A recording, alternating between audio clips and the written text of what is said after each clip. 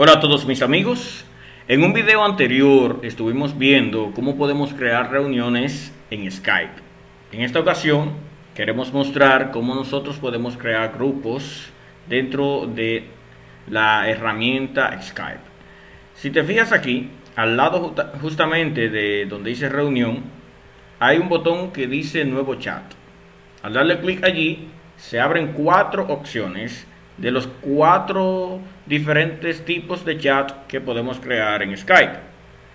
El primer tipo de chat que se llama chat grupal es un chat normal donde estarán eh, varios, varios miembros que tú puedes invitar o puedes agregar o que puedes enviar el enlace y es un grupo abierto por así decirlo en el sentido de que cada integrante puede eh, enviar reuniones, puede, puede hacer lo que quiera dentro del grupo, en el sentido de poder eh, conversar, enviar cosas, etcétera.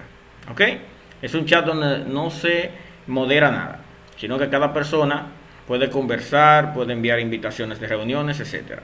En cambio, el grupo moderado es aquel donde se tiene más control, o sea, allí se puede controlar quién hace qué cosa si las personas pueden eh, invitar a reuniones, si no se puede, etcétera. Este tipo de grupo, por ejemplo, es bastante idóneo si tú haces un grupo de Skype pensado para una clase. Tú eres profesor y vas a tener tus alumnos en un grupo de Skype para mantener allí eh, la comunicación, etcétera. Te conviene un grupo moderado porque así tú puedes eh, tener control respecto a quién hace tal cosa como quien invita a reuniones, etcétera. Ok, este nuevo chat es un chat ya con una persona en particular. Si le damos aquí al nuevo chat, elegimos con quién queremos crear ese nuevo chat y listo. Ok, el último chat, que es el chat eh, privado, una conversación privada, es igual, es un chat que hacemos con una persona o con más personas, ¿verdad? Por ejemplo, yo puedo seleccionar a una persona y empezaríamos un chat con esa persona. Entonces, pero a diferencia de los demás, este chat es privado en el sentido de que se establecen eh, restricciones políticas de seguridad eh, de extremo a extremo y solamente eh, las conversaciones estarán en un dispositivo. ¿Cómo así? Bueno, que si tú iniciaste esa conversación privada en tu laptop, entonces esa conversación no aparecerá luego en tu celular o en otro dispositivo que tú te conectes, sino que solamente estará allí en ese dispositivo. Y estará eh, cifrada y eh, eh, en otras palabras este chat lo que tiene es mayor seguridad a diferencia de ese chat ok este estará este que dice nuevo chat nada más. Si tú inicias un nuevo chat con alguien ese chat podrás verlo en todos los dispositivos que tú te conectes en, en Skype, en todos, en tu celular, y así puedes seguir el chat, la conversación, en cualquier dispositivo. Si cambias de repente de la laptop a tu celular, entonces podrías seguir este en la conversación. En cambio, si el chat es privado, pero lo iniciaste en tu celular, luego no podrás seguir la conversación en eh, el chat en otro dispositivo porque no verás allí eh, ese chat. ¿ok? Entonces lo que nos interesa a nosotros es crear un grupo. ¿Cuál grupo vamos a crear? Bueno, depende de la situación. En el caso nuestro vamos a crear lo que es un chat grupal, ¿verdad? Un chat grupal, así, solamente, no moderado. Aquí tenemos que poner entonces el nombre del grupo. Yo lo voy a poner, por ejemplo, nivel secundario. Vamos a suponer que este grupo es para el nivel secundario. Así que le ponemos así, nivel secundario podemos darle aquí a la cámara para nosotros poner una imagen del grupo. Una imagen del grupo que nos permitirá eh, buscar una imagen del grupo si la tenemos, ¿ok? En mi caso no tengo una imagen eh, apropiada en este momento, pero ese es el proceso que tú harías para eh, poner una imagen de tu grupo. Una imagen ahí alusiva a, a lo que van a tratar en el grupo en cuestión. Una vez que seleccionas la imagen, sencillamente la cargas dándole abrir aquí. ¿Ok? Abrir. En mi caso no tengo imagen, no le voy a poner ninguna por ahora. Eso se puede hacer en cualquier momento. Seguimos dándole clic aquí en esta flecha que significa siguiente y le damos allí. A continuación lo que tenemos que hacer es, si queremos en este momento, es invitar a las personas que ya forman parte de nuestros contactos al grupo que estamos creando. ¿okay? Personas que nosotros queremos que estén en ese grupo, los podemos agregar. ¿okay? Los buscamos y si están, los agregamos. ¿okay? Si no están, pues sencillamente no los agregamos. En este caso, por ejemplo, yo voy a agregar a esta persona porque forma parte del nivel secundario y así sucesivamente podría agregar tantas personas como fuere necesario, ¿okay? buscándola una por una eh, y uno a uno así los voy agregando y a ellos les va a llegar una invitación del lugar. Le doy a listo cuando he terminado de agregar para seguir con el siguiente proceso, que es ver ya nuestro grupo creado, que hasta ahora tiene solamente dos miembros, míralo ahí, dos participantes. Yo, el creador del grupo, y la persona a quien yo invité. Ahora, ¿cuál es la ventaja de tener un grupo? Bueno, pues la ventaja de tener un grupo es que pueden mantener esas conversaciones, eh, ese canal de comunicación entre todos los miembros del grupo y, así pueden mandarse directamente las invitaciones de reuniones. Mira, si le doy clic aquí, puedo hacer videollamada o simplemente llamadas o puedo agregar personas también al grupo en cualquier momento.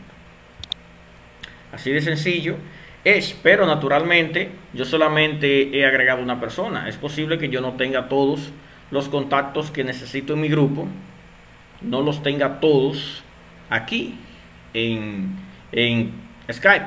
Entonces yo los puedo invitar. Ok, mírenlo ahí, dice invitar a más contactos.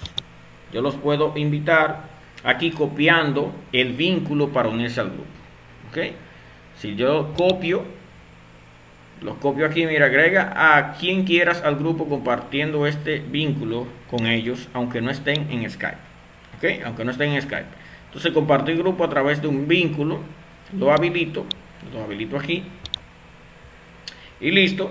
Sencillamente yo ahora lo que tengo que hacer es copiar al portapapeles ese enlace y mandárselo entonces vía WhatsApp, vía Facebook, vía lo que la, la red social que yo eh, quiera a las personas que quiero que sean miembros de este grupo. O también puedo mandárselo vía correo electrónico. ¿Okay? En este caso yo le voy a dar a copiar al portapapeles. Bien, entonces ya he copiado el enlace en el portapapeles. Ahora lo que tengo que hacer es enviarlo por la vía que yo eh, considere oportuna a las personas que quiero que formen parte de este grupo que he llamado nivel secundario. ¿Ok? Así que sencillamente eh, vamos a entrar, en mi caso yo voy a hacerlo vía WhatsApp y le voy a mandar aquí invitación, le voy a poner invitación para unirte al grupo de WhatsApp, de, perdón, de Skype, de Skype y ahí voy a pegar el enlace, ¿ok? De esa manera Sencillamente eh, le mandamos la invitación y aunque ellos aún estén en Skype, podrán unirse al grupo. Mando el enlace y listo, ya las personas solo tienen que darle clic a ese enlace para hacer el proceso de unirse al grupo. Perfecto. Y ahora que yo puedo hacer en el grupo, bueno, en el grupo yo puedo eh, iniciar lo que son eh, conversaciones de chat, pero también puedo compartir archivos, aquí donde dice agregar archivos, si le doy clic ahí, eso abre eh, un cuadro de diálogo que me permite enviar archivos al grupo. ¿ok? Archivos al grupo, por ejemplo, le voy a mandar esta fotografía de Zoom. Eh, ok, puedo mandar de eso. Simplemente ahí tendríamos acceso ya todos los miembros del grupo a ese archivo. También puedo enviar los contactos a este chat. O sea, yo puedo enviar los contactos a, este chat. ¿Ok? Y también puedo, en este caso, grabar un mensaje de voz. ¿Ok? Yo puedo grabar un mensaje de voz diciéndole algo. Recuerden todos que tenemos una reunión el lunes a las 5 de la tarde. Una reunión presencial con los protocolos del lugar. ¿Listo? Ahí entonces ya yo he mandado este mensaje y entonces todos los miembros del grupo tendrán acceso a ese mensaje que yo he mandado. A estos tres puntos nos llevan a nosotros entonces a dos opciones importantes, lo que es programar una llamada. Interesante. Desde un grupo entonces yo puedo programar una reunión, una llamada. Simplemente le doy clic ahí donde dice programar una llamada y ahora yo puedo escribir el título o el tema que vamos a abordar en esa reunión. ¿Ok? Le voy a poner, por ejemplo, tratar sobre el taller de eh, noviembre. ¿Ok? Vamos a suponer que hay un taller en noviembre y nosotros vamos a tratar de... En este caso, ¿cuándo será la reunión? Yo le voy a poner que será el 11 de septiembre. ¿Ok? El 11 de septiembre, seleccionamos aquí el 11 de septiembre. ¿A qué hora será? Ah, yo lo voy a poner que será a las 10 de la mañana. ¿Ok? A las 10 de la mañana. Entonces, ¿cuándo me va a alertar? Aquí dice 15 minutos por defecto. Tú lo puedes cambiar a 30 minutos, una hora, etcétera, etcétera. Yo lo voy a dejar con 30 eh, minutos antes. ¿Ok? 30 minutos antes. Y listo, le doy a enviar. Y entonces notarás como aquí a todos los miembros del grupo entonces recibirían ese anuncio de que vamos a tener esa reunión en la fecha indicada. O sea, los grupos son una mejor manera de poder programar las cosas, dado que si todos los miembros de un equipo de interés están en un chat grupal de Skype, entonces eh, podríamos utilizar ese grupo como vía de comunicación para mantenernos informados sobre eventos, para eh, compartir archivos, etcétera, etcétera, etcétera. ¿Ok? En cualquier momento también yo puedo iniciar, sin haberlo programado, lo que es una reunión, ¿verdad? Si, si en un momento dado de repente sabemos que estamos todos los los miembros del grupo, tal vez hablando, eh, conversando, etcétera, y de repente, hoy, pero vamos a hacer una reunión aquí ahora para dejar de escribir. Entonces simplemente le doy aquí, ¿ok? Ahí, y si quiero solamente una llamada, que no es una video, le doy aquí donde dice llamada.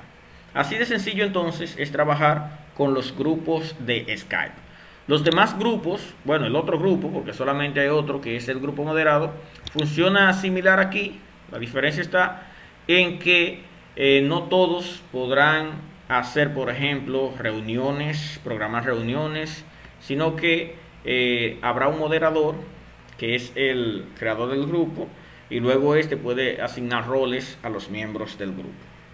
Te invito entonces a que pruebes los grupos de Skype y me cuentas cómo te fue.